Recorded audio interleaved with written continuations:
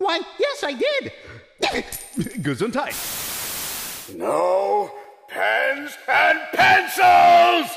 What's pens and pencils doing in this octopus when I told you no pens and pencils ever?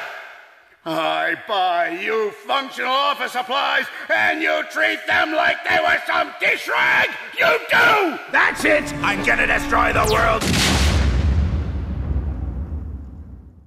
Study your cephalopods before we do battle!